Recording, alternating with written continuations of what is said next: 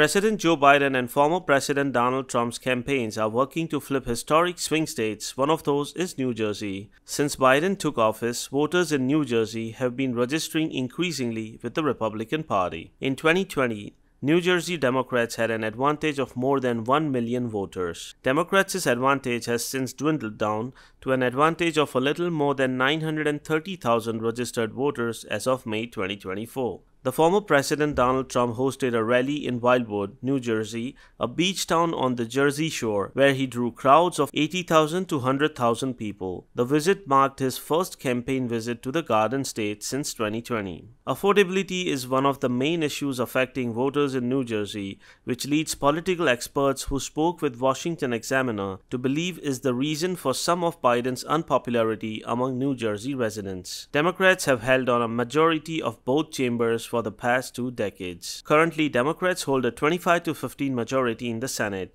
and a 46 to 34 majority in the Assembly. Political experts also pointed to a pattern showing in New Jersey the party that is out of power in the White House does better. When it comes to numbers, statewide races are expensive in New Jersey because candidates must buy into both the pricey New York and Philadelphia TV markets. This is because New Jersey is sandwiched between the two cities and does not have its own market.